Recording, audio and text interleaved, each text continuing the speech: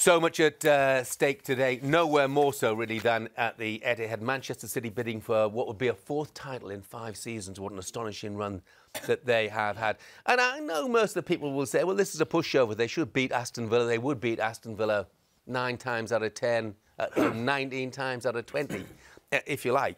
But does the fact that Steven Gerrard will want to do his old club a favour. Philippe Coutinho will probably be starting, you, you, know, trying to do Liverpool a favour. Danny Ings will probably be starting, trying to do his old club a favour. Does that have any effect at all? hundred percent, hundred percent. They've got the players to hurt Man City. You know, we, we see Man City are quite open at the back at times, and you, you know, you they have the players. If he picks the right team to, to punish them, you have to put away your chances. Been on this show so many times, Jeff. On the last day, there's always drama there's always drama. You know, the pressure's on. You know, last week, who would have thought everybody would have thought, oh, they'll beat they'll beat West Ham. Mahrez will score his penalty and that'll be it. But that ain't the way football is. And I think, you know, they, they got a job to do today. The pressure's going to be on. For me, this is the ultimate. They win this, that is dominating English football at the highest level, in my opinion. Winning mm. it four times out of five out the last five years is, is a phenomenal feat. And and personally, I, I, don't think Man City are getting the credit for it that they thoroughly deserve. I think it's getting brushed under the. It's like, oh, we take it for granted.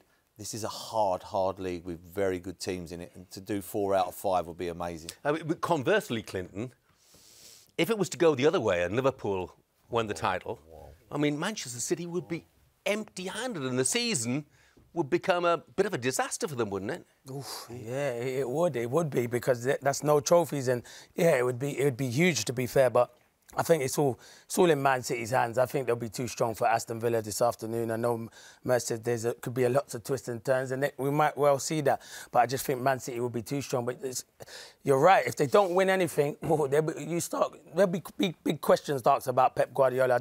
For me, I wouldn't be questioning Pep Guardiola because his team well, who would seriously, Clinton? Who would be questioning him? There'll be lots of people because he'd had really? the whole season of yeah because he's not won a trophy with that squad of players and, and being 14 points ahead of Liverpool and then getting caught and losing it. People would start questioning him then. I'm not saying I would because I still think he's a superb manager, but people would if that Man City squad end up without a trophy this season, there would be big, big question marks. Not to say, oh, he's going to lose his job or anything, but people would ask. But I just think they'll be too strong for Aston Villa this afternoon football crack shop. Yeah, I know. Four wins it and you're saying it's domination. The best manager that's probably been apart from Sir Alex, and then you know if he loses it, it's a case of the team's not great. yeah, you're going to yeah. get crit um, criticism, but listen, that's football. That's why we all love it. Mm. Well, they'd be bonkers, wouldn't they, if they were having a go at Pep? Because frankly, if he wins this league title, it's his tenth league title in 13 seasons in senior management. You know, um, Barcelona and Bayern, and of course City as well. Um, and they've only lost what three games this season you know, twice against Spurs and once against Palace, which is not too shabby, is it?